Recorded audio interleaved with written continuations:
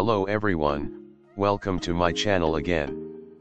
This is an introduction to this new tutorial set in MATLAB. In this video series you are going to learn how to analyze an inverted pendulum system. This is coming under nonlinear system modeling, and control using modern computer tools. This video series will help you to understand the basic of MATLAB and Simulink and, also how to model a SolidWorks model to MATLAB. You can see the preview video in here, that what we are going to do. After identify the requirements we will model these required parts in SolidWorks. After that we can import them to MATLAB Simulink.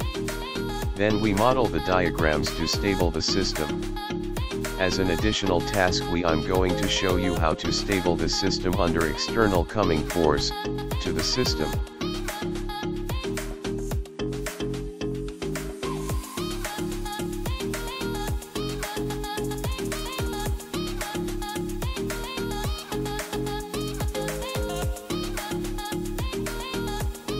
In here you can see the MATLAB Simulink diagrams.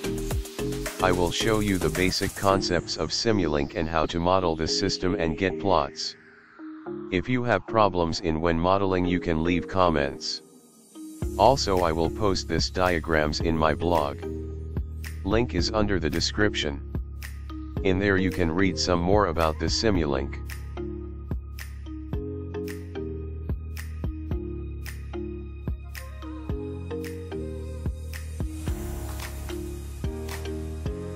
This is the end of the introduction. I will publish the videos very soon. Hope you will subscribe this channel and leave your comments.